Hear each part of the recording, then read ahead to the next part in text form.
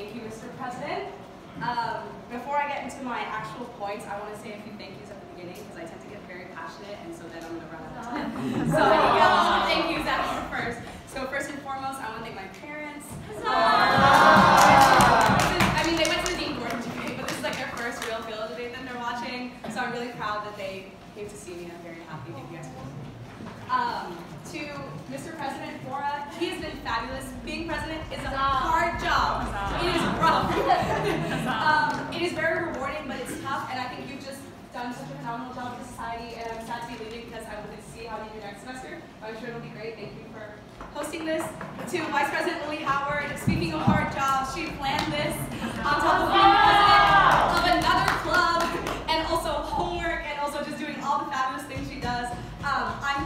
so happy you're in the society. I'm so happy we've gotten closer. Thank you for putting on this wonderful event. It's really great. um, to my roommate and very, very close friend Madison, uh, love you, dude. It's been it's been a good four years. We've had a good time. Um, again, you know, speaking on the same side, that's actually something very not common for us to do. So this is this is really cool. I, it's nice that we get to speak together once. Um, and then to Niall, you're phenomenal. Um, I remember knowing you beginning of freshman year and just being like, oh my gosh, she's just such a wonderful speaker. She's doing such great things, and I stand by that, and I think I forever will. Um, Alec, you're cool. Alec is Alec is so smart. Alec is one of the smartest people I know. And um, despite the fact that he'll be going to McKinsey after graduation, we still like him. um, to Max, one of my very, very close friends, um, thank you for all of your support, for hearing me cry about Philodemic all the time.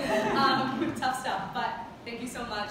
And to all Philodemicians, past, present, future, uh, I'm so honored to be part of the society. It has been one of the best things I did throughout my time in college.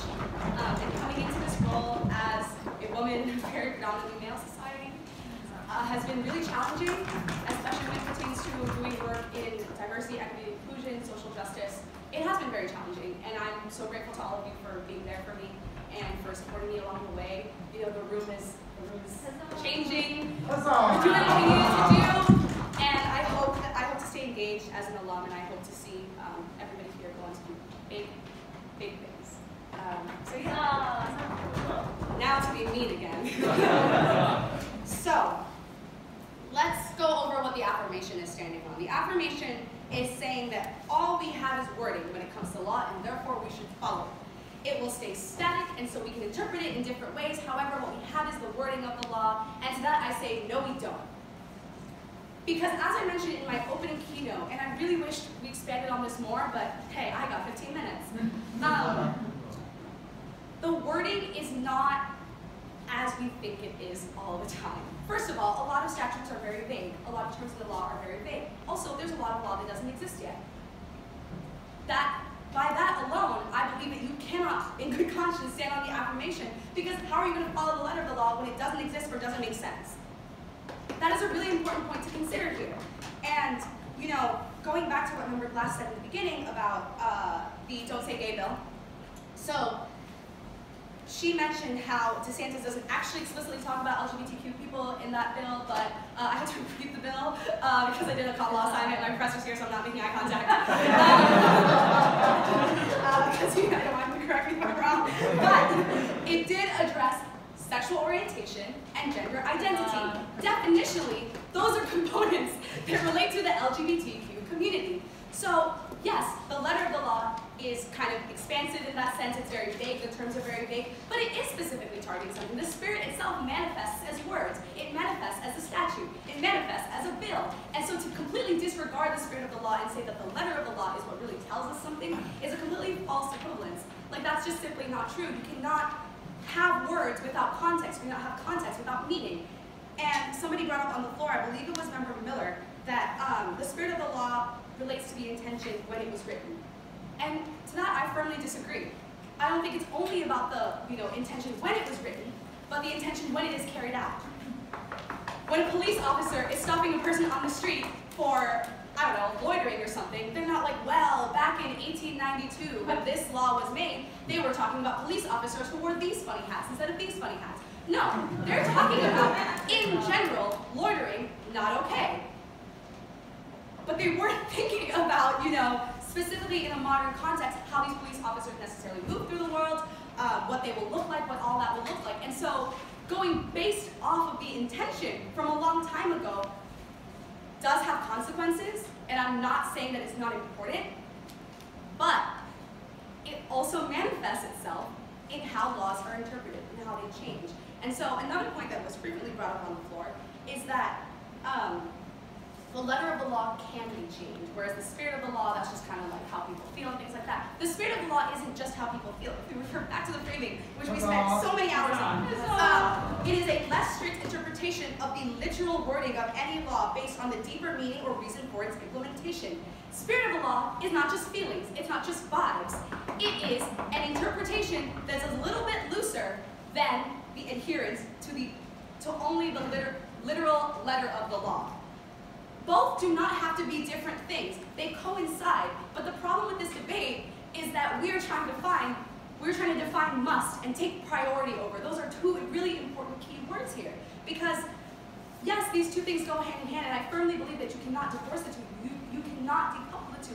However, when we're talking about taking priority, taking priority, there is not only a moral imperative there, but there is a very important framing of like, when faced with a crisis, when faced with change, to only look at the letter of the law first is to ignore decades of unbalanced representation on the court. It is to ignore the subjectivity of human perspective and the very fact that laws themselves are dynamic and changing. It is ignoring the fact that when new problems arise, the letter of the law can be inflexible. It is ignoring the fact that just because something hasn't existed before doesn't mean that we shouldn't regulate that we shouldn't think about it. And to this end, I unenumerated rights. Because the Constitution doesn't say we have a right to debate in this room. I don't even think the Philodemic Constitution says that, but there's no right there. However, we have a right to free speech. And so the spirit of that is that in this room, we do not leave our right to free speech at the door. We bring it in, and we are able to engage in debate. And wherever that happens, it happens right? Because that is a right enumerated in the Constitution. But it doesn't specifically say the Philodemic room. And so we're taking the spirit and implementing it in a way that makes the most sense. First of all, we were talking about common sense laws here. We were talking about bringing in the deeper meaning of what free speech is and the fact that it can manifest itself in any space because we are all citizens and these are the rights that we are granted. Next point. You know, somebody talked about whether, you know, when the spirit and the letter are both oppressive, and that's true. I agree. I think there are a lot of cases, especially, you know, there's a very polarized society. It's gotten increasingly worse in a lot of ways. There are going to be times where both the spirit and the letter are going to be kind of on the same side. However, the beauty of the spirit of the law is that it's much more flexible and that it allows for that to change. Whereas with the letter of the law, you have to go through the process of amending the Constitution, of creating new legislation. But with the spirit, not everybody's spirit is the same. Not everybody's belief in how the law was intended to be carried out is the same. And so when we're comparing the two, because again, we're talking about take priority over, we do have to consider the fact that spirit, at the end of the day, is going to be a lot more flexible and provide a lot more leeway to understanding, to taking into account context, to taking into account people's situations, people's lived experiences, and that's something that I wish we discussed on the floor more. And to be honest, I don't believe that the affirmation has successfully responded to it. I don't think they've told us why context doesn't matter. And I challenge you to do that. Because yes, we have the literal wording and we can adhere to it, but they're really framing us as just kind of going off of vibes, when at the end of the day, we're just having a little bit of a looser interpretation so that when other problems arise, we can connect it to the spirit of the law. And we can apply the letter of the law as we see fit. Who's we? All of us. Right? All of us matter. And the only reason these laws mean anything is because we put our faith in them and we believe in them. And so to, to kind of close out, I think it's really important to think about justice here, but I also think it's very important to think about understanding and to think about how perspective matters, context matters, and the affirmation has the burden here of proving to us that at the end of the day, none of that is as important as following the literal wording, regardless of what it means. Is that how we want to rule a country? Is that how we want to move through the world? Is that how we want to treat people? By not considering their lived experiences? And so I urge you all to stand on the negation today. I hope we've successfully convinced you. Um, I'm going to quote my favorite Legally Blonde quote because I really had to quote it. Y'all will remember Aristotle's famous quote, the law is reason free from passion. This theory makes the point is only based on reason, that's what Elle Woods talked about. She's like, no offense, Aristotle, but you know, I'm very passionate about the law. Um, yeah, and with every theory, it's undermined by its, by its premise. The law is not only based on reason, but it's based on precedent, precedent, it's based on necessity, it's based on desire. No decision is made without these factors included in it. That is the truth.